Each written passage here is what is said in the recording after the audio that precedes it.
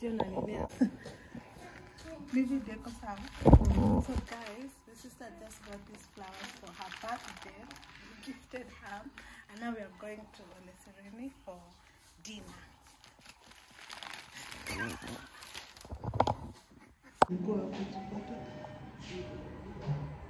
So now we are heading. This week is giving us stress.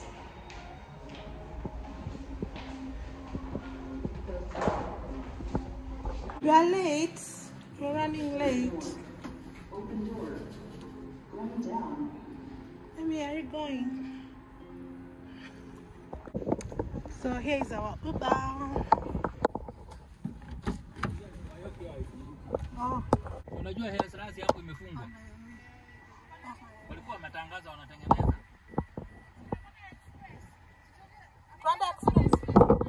guys, there is a traffic. There is traffic, and then I'm going to use the expressway.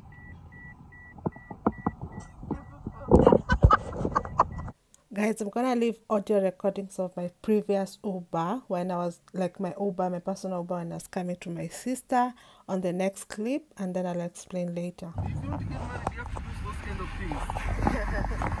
uh, let him know he's appreciated, you know, stuff like that.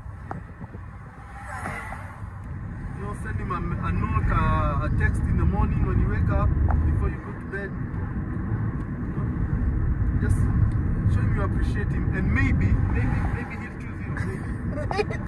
ah, see, he has choice now. If He has choice- options. Yeah, exactly. Yeah, that's what I mean. Yeah, he has options now. See, it's up to him. Uh, but now, but now the goodness is that online you can date uh, other foreigners.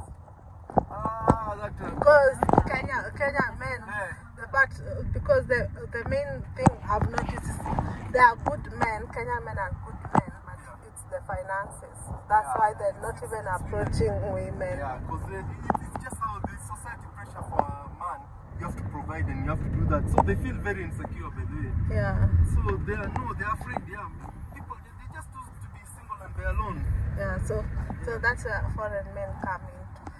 Now you know That's this is why nah, Kenyan women don't realize one thing. you do you date online? Are you single? No, I'm not single. Okay, you see these women who date online. Yes. they get a rude shock because okay maybe they want a mzungu yeah maybe uh-huh.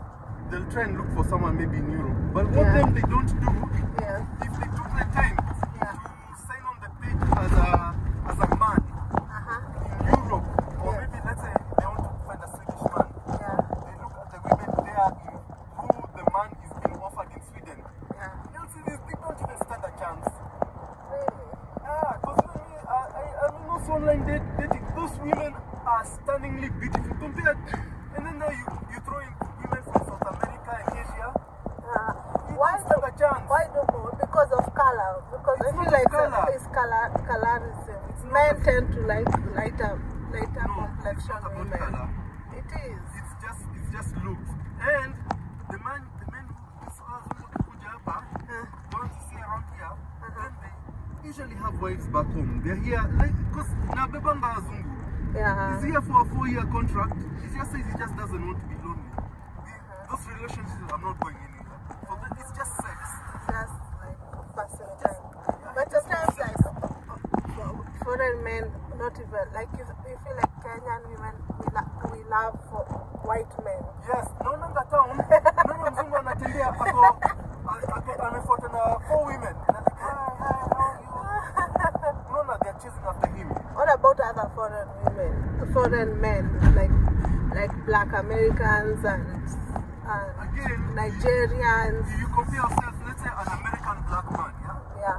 So you, you log into the dating website mm-hmm. and you put, you say you're looking for black American women. Yeah. You compare yourself to the kind of women who show up, who, who are being offered there.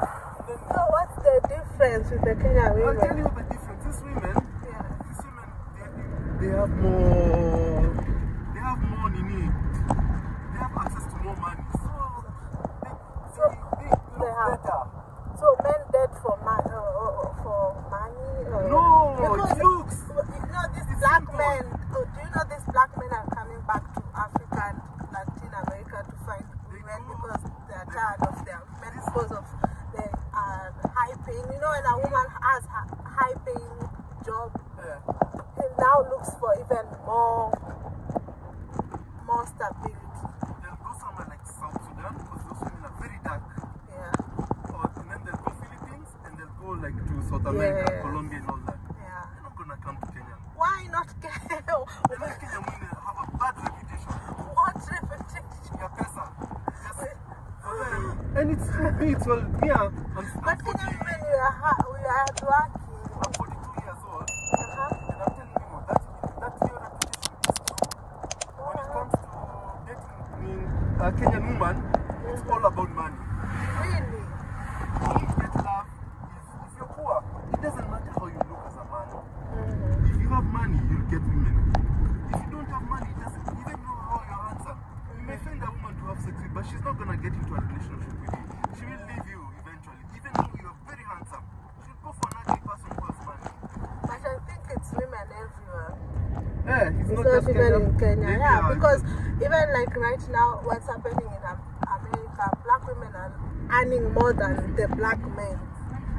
So they are they, they, they want to date the the the you know millionaires like even in America millionaires are a few.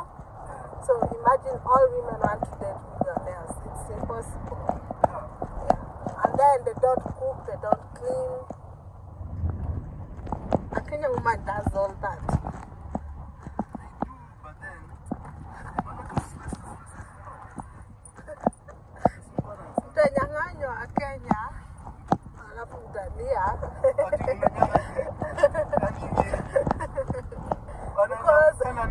Kitu yenye unaona wewe si maana, hiyo ndo ule mtajiri anatafuta kwa mwanamke. Because huku kwao mambo ya ufemina imeisha because women are earning more.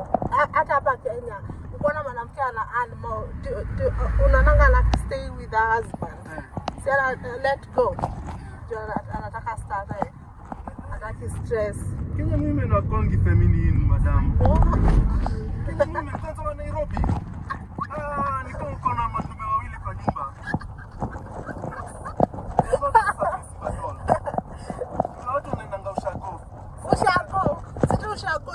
Bring a village woman to Nairobi, Mm. they'll change. Even they'll become even worse. They become even worse than the But Nairobi woman.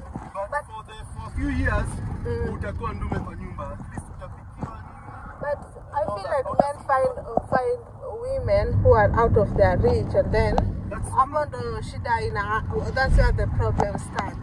Because even because done that. yeah. because when you go like and then the women who get uh, like the good women are not in the bars in the clubs in the restaurant like they're not It's the same in those places they're not in those places now this good high high paying man they'll go to clubs and get a woman who, who's Ah, like no, uh, they just do it for sex. They get a woman for, for the yeah then they'll, they'll judge every woman based on that That's- kind yeah, of yeah, so that's the sad part Yeah. because the good women are not in, in the bars No, they are in. no, but they are also not in the church.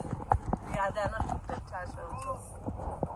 Unabeba mkale utabeba. Unasikia mtu anasema, I think "Eh, that- wacha nilale ndio. The best place to find a good woman is maybe kwa market, in the market, in the, in the grocery stores. Inakwanga Mungu, madam. In my opinion, It's good. Just go. Either man or woman. Inakwanga, it's- it's something you need to pray about. Yeah, true. and that's and, and that's good. Because even you can find someone in the bar in the in church Mm. turns out to be an alcoholic na nakuchapa kila siku. yeah, people because also people change, and then there's these women who will give you. They know how to read a man, so they'll give you everything that you want, and then when you wife her up, she changes completely. It, it's just God. Because you know, also someone may be wrong for someone else, but they're not wrong for, For you. you. Because it, it goes with their personalities. So it- just for you to find someone who you match with. But you know me, I've been married. I've been married twice, divorced twice. Mhm. The most time I was ever I've ever been happy in my life was when I was married. There's nothing as good as a good marriage. Really? Yes. It's That's the best thing. There's nothing good. And I'm, I'm not saying come we stay. I'm saying married. Ile Married, married kabisa. Umeoana, umeenda kotini, you've made a commitment. There's nothing better than that. Wow. Very good. So what does a man want? God, what what a man wants. Imagine it's so simple. Mm. Just just someone who maybe just keep quiet and listen to him and give him sex at least once a week. He is good to go. Okay. So peace and sex. And other than that, he had sex, a lot of sex. Once a, even once a month. He won't stray. But, but there are some women who they refuse men sex. They're sexless, sexless marriage. I have friends. No, I'm I'm a, cartel cause he did something with money and she's not happy, so she refuses sex for months. Unaona huyu ni mtu anafanya office anaenda tuna keti yake kwa, kwa bar and then those two young girls come and start talking to him because they see they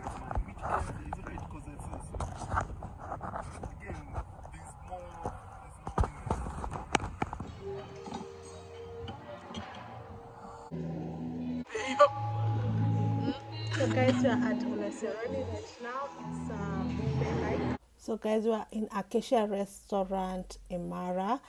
We are there. We are having a choma buffet. A choma buffet includes. Um, let me see.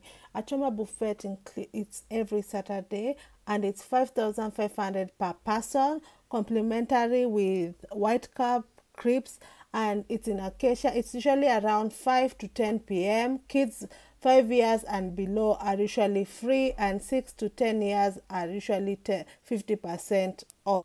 So we are here to celebrate my sister's birthday my elder sister.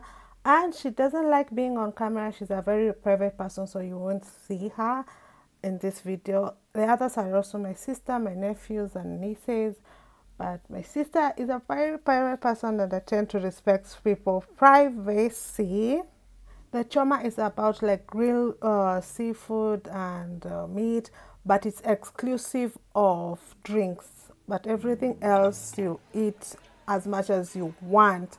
Guys, the food was delicious, but in some way, I don't know, like when I see a lot of food, I tend to be so full quick. So I didn't like eat the way I had prepared to eat this food to the max. But actually, what I really liked so much, it was the sushi. Like the sushi was so good. Sushi was also in, included in the menu and everything from food, fruits, dessert, main courses, except for the drinks. The drinks you have to pay them separately.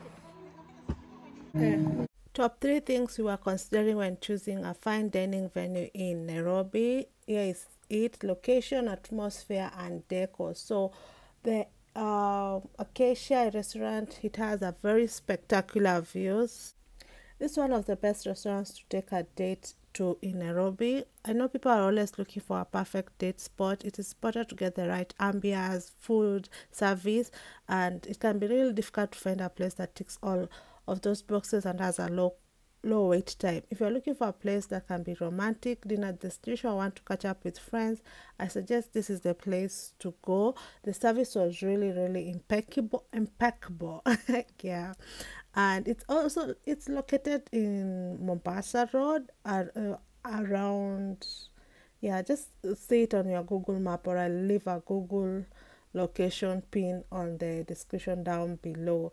We wanted to treat ourselves for this birthday celebration of my sister, and uh, yeah, the last few years have been a rise in fine dining experiences across the world, and Nairobi didn't is Nairobi has not been left behind. I am always like reviewing restaurants, so always check my videos, Nairobi places to eat, and you'll always find me reviewing them. Isn't it? Prawns. Any prawns and chicken. For us, fine dining means enjoying an extravagant meal at a restaurant where every day has been thought of from decor and everything. Fine dining is just not about taste, about also about feeling like you're indulging in something luxurious. It makes you feel spatial and upscale dining experience. I'm so full. Going on a. The Acacia is open 24 7 and has three major meal choices of many different global cuisines. How can I forget the spectacular views of Nairobi National Park? Yes, so you can spot an elephant or a lion while you're eating at the balcony. Damn, this is good. This is very nice. Okay, so my outfit is from Laura Gown. So this is from Laura Gown. Timo, and then this is denim.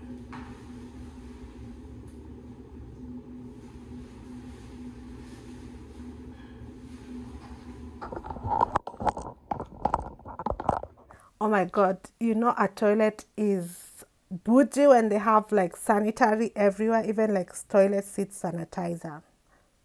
That's so thoughtful. This is nice. Hey, so the bill came, it was like 27,000. That's like $270. Yeah, and of course the kid didn't pay, Ella didn't pay because she's under five, but so Solange she's 12, so she you are six. That's a bill for total people of six. Ella was so excited and she was dancing for us. Actually, they have like someone playing the piano. That's actually someone playing the piano. Don't want to be copyrighted, that's why I've muted it. But Ella was dancing and she was like, It's it's nice.